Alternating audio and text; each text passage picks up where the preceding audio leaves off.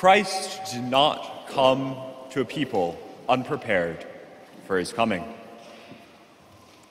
God had prepared the people of Israel throughout a long, winding path full of sin over many centuries. But even in Israel's brokenness, our Lord's faithfulness and how he spoke to them through the prophets and the sacrifices of the Old Testament prepared for his coming.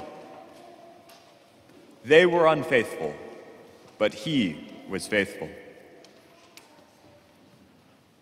God also prepared for his coming more immediately through the sending of John the Baptist. John the Baptist was the last and the greatest of the prophets. He prepared the people for the coming of Christ, both by announcing his immediate coming, as well as by bringing them to repentance. The baptism that John the Baptist administered is not Christian baptism. It did not have the full effect of what we have now. As John the Baptist himself remarks, his baptism is with water, but the baptism of Christ, that has the Holy Spirit as well. In Christian baptism, we are freed from our sins, but we're also given grace and the indwelling of the Holy Spirit. But the baptism of John the Baptist did help to bring about repentance, in addition to foreshadowing Christian baptism. Moreover, when people came to John the Baptist, they acknowledged their sins aloud, and they turned away from them. This acknowledgement of our sins and then setting our will to turn away from them, this is the heart of repentance. It removes the obstacle that sin places in our hearts. While sin does not bring about our physical death, at least not immediately, it makes it harder for us to reach Christ. John the Baptist was given the mission of making straight the paths, of making the winding routes due to changes in elevation that people had to take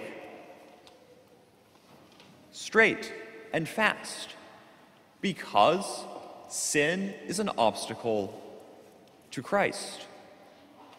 Sin prevents us from being able to reach our destination. In mortal sin, we are completely stopped. But in venial sin, we can still reach our destination of Christ. But the process takes longer. The paths are winding.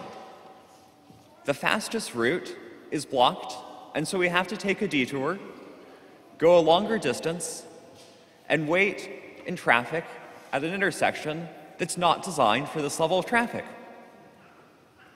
The removal of sin from our hearts through baptism, as prefigured by the washing that John the Baptist did, or through the sacrament of confession, prefigured by the acknowledgement of sin that these people made, removes this obstacle and it enables us to reach what is our true destination Christ. And not only did John the Baptist prepare the people for Christ by removing the obstacles to them obtaining Christ, that is, their sins, John the Baptist pointed to Christ. And he pointed to Christ as something, as someone far greater than him. John the Baptist says of Christ, This is one mightier than I who is coming after me, and I am not worthy to stoop and loosen the thongs of his sandals.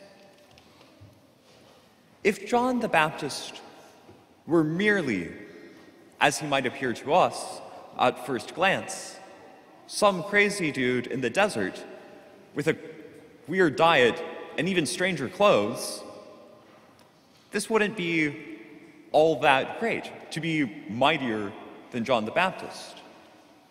But no, John the Baptist, if we look at him through the eyes of the people of the time, and particularly if we look at him through the eyes of faith, can be seen as a personification of the prophets and the priesthood of the Old Testament. John the Baptist performed the ministry of a prophet. He recalled the promises of God to his people and reminded them of these, and in turn exhorted them to be faithful. This is a task of a prophet.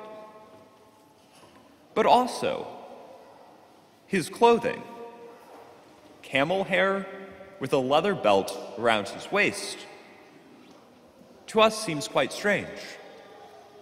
But while these clothes were strange to the time, they had a particular meaning. These were the clothes worn by the greatest of the prophets, Elijah. And so, in his wearing of them, which Mark reminds us of, we see in John the Baptist the new Elijah who will announce the coming of the Lord and indeed, later in the Gospel, John the Baptist will be spoken of both by others and by Christ as Elijah, because he's fulfilling Elijah's ministry. But also, John the Baptist was the fulfillment of the priesthood and sacrifices of the Old Testament. John the Baptist was a priest of the Old Testament. When we hear of his conception in Luke, it is because his father is ministering as a priest in the temple. That is when the angel Gabriel appears to him. And so, we know from this that John the Baptist's father, Zechariah, was a priest of the Old Testament. And in the Old Testament, the priesthood was passed not by the laying on of the hands of a bishop through ordination, but rather from father to son. And so, simply by virtue of being the son of Zechariah, John the Baptist was an Old Testament priest. But also, Details of his life cast him as the new Samuel, one who is the fulfillment of the greatest priest of the Old Testament. Like Samuel's mother, Hananiah, Elizabeth, the mother of John the Baptist, was old, barren, and childless. But she prayed to God for a child. And the Lord heard the prayer of both Hananiah and Elizabeth.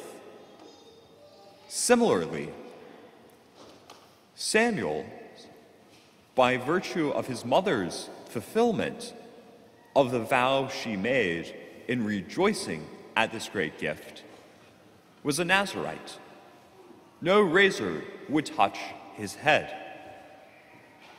So too do we hear of John the Baptist also being a Nazarite.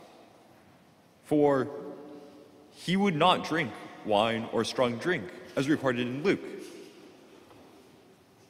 Similarly, not only were they both Nazarites, but they were dedicated to God by their parents in celebration of their birth. And the highest point of Samuel's ministry was anointing David the king with oil.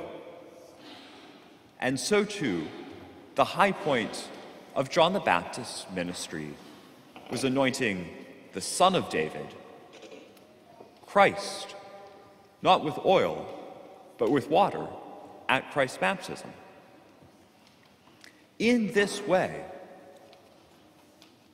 the prophets and the priesthood of the Old Testament welcome Christ as their fulfillment, as the one who is mightier than them.